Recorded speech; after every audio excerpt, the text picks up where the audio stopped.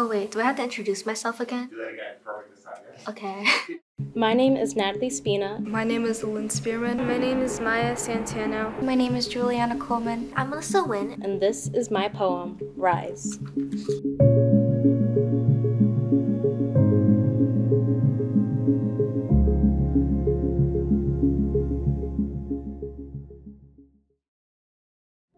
The sun beams through the curtains and blinds. The room is illuminated with orange and yellow, the rays directed to our faces. I squint as I rise, losing the darkness only sleep can give me.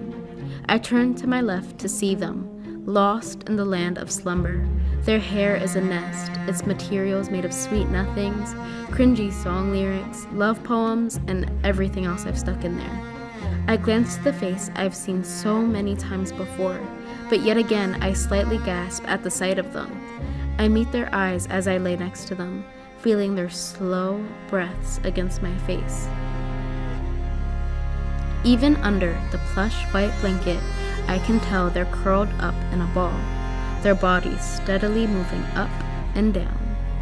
I take in the scenery once again before rising from my bed, trying my best to not creak the floorboards.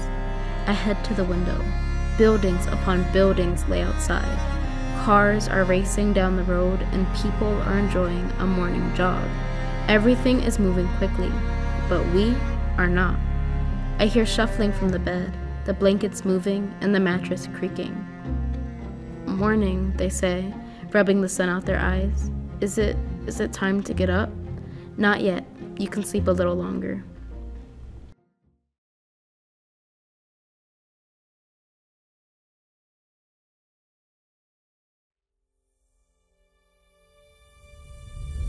I am made from lost stardust trying to find their way back home. The scars on my skin create forgotten constellations. My mind is a shattered fragment of a once fearsome empire. The memories forge my words and the ruins guide my fears. My eyes are voids from distant realities, they see endless possibilities, and the trembles in my hands are from distant supernovas.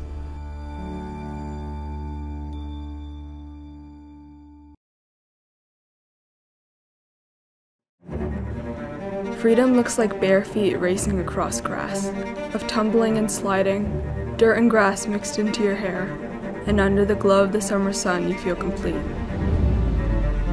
Freedom sounds like the whoosh of an exhale, a sigh of release, of steady yourself, of the last moment drifting away as your lungs welcome another breath.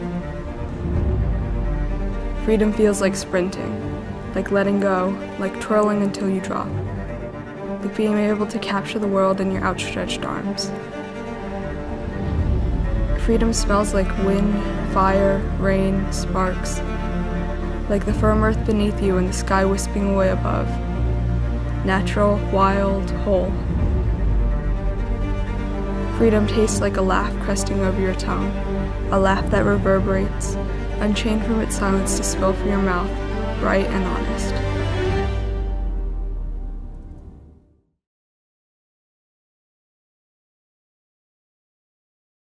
Pure and angelic rows of feathers, lined up and down, littered across the wings spread open, ready to take flight. The few gold feathers stuck out among the white, glistening under the light, calling out to you like a charm. Angel wings, you called them. When you first witnessed them soaring through the air, attached to a human like being, you were enchanted. You've never seen wings so large, so elegant as they carried the person with grace. You watched that person, no, that angel for days. You sat at the same spot every sunset, hidden between trees and bushes as you watched her fly around a waterfall. One day, you called out to her. Her wings folded, they bent and hunched over as if frightened, and she landed on her feet. Her wings, gorgeous as they were, were an unsatisfactory sight when folded up. She fled, running behind the waterfall on her two legs, rather than using the wings she was blessed with. She didn't fly after that. You thought she never would have, yet you returned to the same spot every day until a month later she came again. She flew more cautiously, but still beautifully, as this time she was making use of her wings.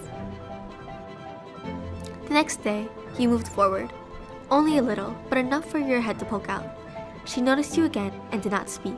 Instead, she flew. So alluringly she flew. Her angel wings spread out, and she kept her eyes on you the whole time. However, you could not make eye contact with her. Instead, your focus was on her wings. Never could it be on anything else. Not the day after that, when you sat closer to her, your eyes remained fixated on her wings.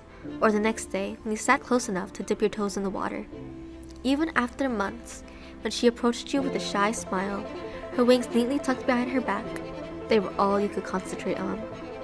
Even when eventually, you started visiting later, when the moon was shining brightly and the two of you hugged each other under the trees, it was not her face that you watched, not the rise and fall of her chest as she slept, or the intimacy you two shared, but her wings. The white feathers were beautiful, but the gold feathers bewitched you, shining under the moonlight. It was not her that you needed, but the wings. So, with the dagger, you dug. You carved and scraped into her skin until you found the bone of the wing. You ignored her screams, her cries, and desperate pleas for you to stop, slicing closer. Finally, the wings were yours, yours to take home, yours to frame on your wall, yours to admire and watch any time you desired, not just sunset and after. Behind the glass you had encased them in, the gold feathers stuck out among the white, glistening under the light, calling out to you like a charm. They were now your angel wings to imagine taking flight.